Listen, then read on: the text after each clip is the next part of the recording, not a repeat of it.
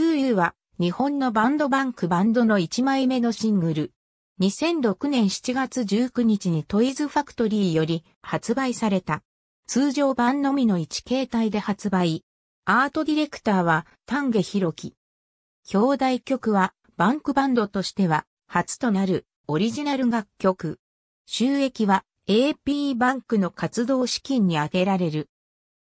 2U Bank Band ウィズサリュ7時12分生まれ来る子供たちのためにバンクバンド5時16分 2U バンクバンド7時41分 Salyu の2枚目のアルバムターミナル及びベストアルバムメルクマールにサリュがソロで歌唱する 2U が収録されている。2017年に東京メトロ Find my Tokyo キャンペーン、茅場町気風が良くなる編 CM ソングに起用され、2U として桜井和俊とサリュにより新たに歌い直された。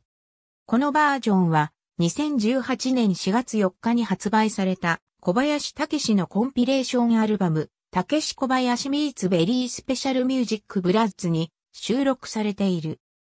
AP バンクが新型コロナウイルス感染症拡大防止の支援施策として保健、福祉、行政、医療周辺、教育系施設向けにマスクを寄付する新プロジェクト、プロテクト 2U の一環として2020年5月8日に AP バンクの YouTube 公式チャンネルにてバンクバンドウィズサルによる 2U プロテクト 2U バージョンマイナスの映像が公開された。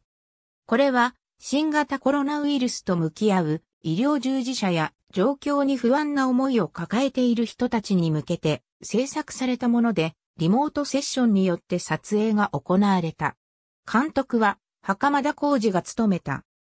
小林は、バンクバンドのみんなも、町内会の有志みたいに集まってくれた。こんな時期に協力してくれたスタッフや、人との接触が避けられない仕事に従事されている方々。そして何より医療の現場で頑張ってくれている人たちに感謝します。また、聞いていただいた皆さんにとってこれが何らかの力になることを願ってますとコメントしている。ありがとうございます。